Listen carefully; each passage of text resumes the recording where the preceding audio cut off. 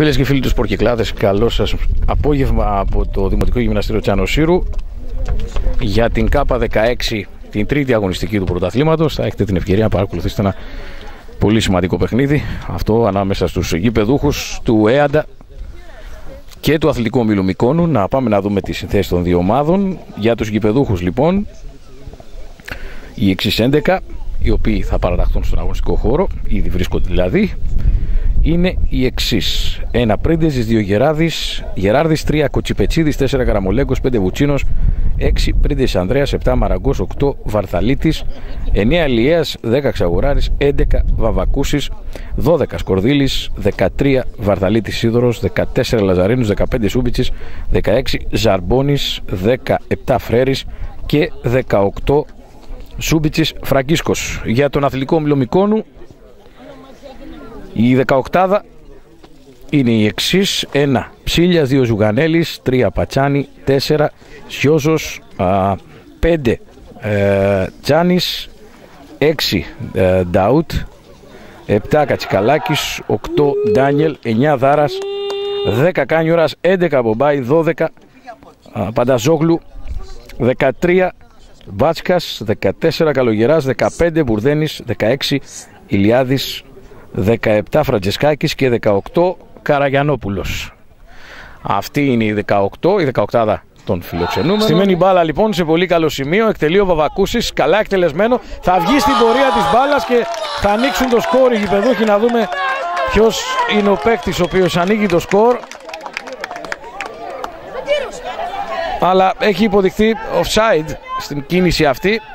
Νομίζω ότι ήταν ο Ξαγοράρης αν δεν κάνω λάθος. Έτσι λοιπόν δεν ε, υπάρχει συνέχεια στην φάση. Ωραίο το κατέβασμα της μπάλας εκεί από τον uh, Βαρθαλίτη.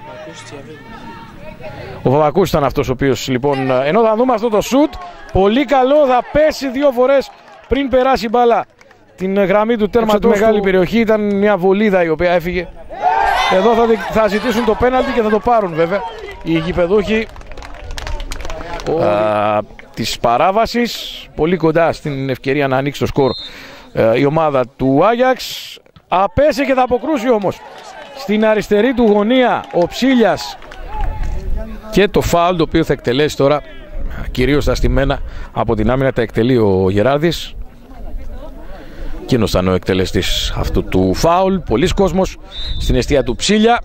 Θα φέρει εύκολα την μπάλα με τον άνεμο στην μεγάλη περιοχή του Ψίλια. Για να δούμε στην πορεία της μπάλας θα πάρει την κεφαλιά και η μπάλα είναι στα δίχτυα. Να δούμε ποιος ποδοσφαιριστής του ΕΑΝΤΑ είναι ο συγκεκριμένος. Νομίζω ότι είναι ο Λιέας αν δεν κάνω λάθος. Κοιμήθηκε θα λέγαμε η άμυνα του αθλητικού ομίλου Μικόνου.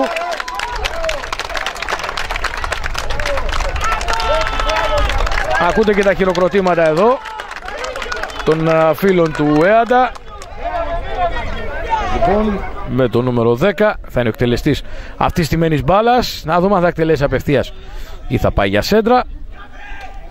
Ο Πρίντεζης δίνει τις οδηγίες στο τείχος. Ο Κάνιουρας εκτελεί απευθείας. Θα φύγει μπάλα από τα χέρια του Πρίντεζη. Έχει υποδειχθεί offside όμως. Πλάγιο τώρα με τον Πατσάνη. Η σέντρα η οποία θα γίνει, θα βγει ο Πρίντες, θα χάσει την μπάλα κεφαλιά. Η μπάλα στο δοκάρι, στην επαναφορά χτυπάει πάνω στον Καραμολέγκο η μπάλα και έχουμε πέναλτι. Σύμφωνα με τον ε, διετή της αναμέτρησης τον ε, κύριο Γρυπάρη. Το σουτ το οποίο έγινε μέσα από την μεγάλη περιοχή. Νομίζω ότι ήταν ο παίκτης με το νούμερο 10, ο Κάνιουρας, εκείνος ο οποίος και έτσι λοιπόν ε, με το πέναλτι το οποίο θα μετουσιώσει σε τέρμα ο Κατσικαλάκης, ο αθλητικός όμιλος Μικόνου θα φέρει το παιχνίδι στα ίσα εδώ στην Ανοσύρο.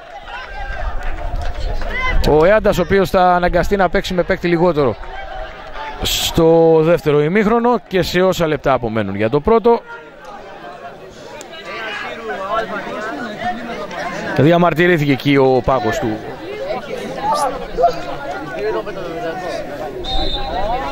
Ο Κάνιουρας εκτελέσει αυτό το φάουλ. Θα βγει στην πορεία της μπάλας. Θα χάσει την μπάλα και έχει υποδειχτεί φάουλ πάνω στον τερματοφύλακα. Δεν μετράει το τέρμα. Ο Πρίντες ο οποίος έδειξε να χάνει την μπάλα αλλά υπήρξε επαφή. Με τον Κάνιουρα τώρα. Ο Κάνιουρας για τον Δάρα. Δάρα θέλει να βρει ωραία, αλλάζουν την μπάλα στη μεγάλη περιοχή, το σουτ και η μπάλα είναι στα δίχτυα.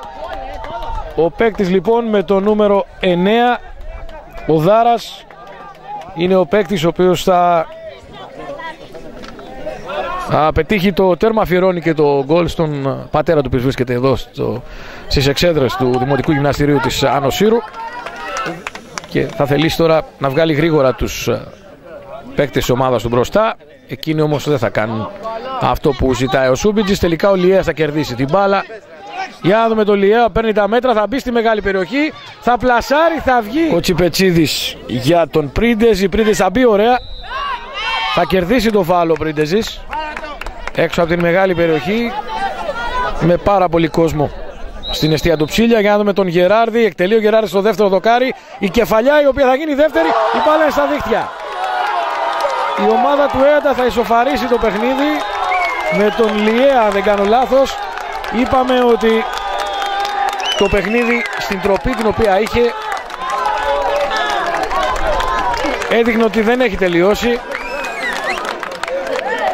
Οι παίκτες του Αμικόνου είχαν την ευκαιρία με παίκτη παραπάνω μέχρι αυτό το σημείο να πετύχουν άλλο ένα τέρμα να φτάσουν πιο κοντά. Ξανά η μπάλα στα χέρια με ένα πλάγιο των γηπεδούχων με τον Κοτσιπετσίδη και κάπου εδώ ο διτής αναμέτρησης ο κύριος Γρυπάρης φυρίζει τη λήξη του αγώνα που βρίσκει σώπαλες ομάδες με αυτό το 2-2 ένα ωραίο παιχνίδι με πολύ σας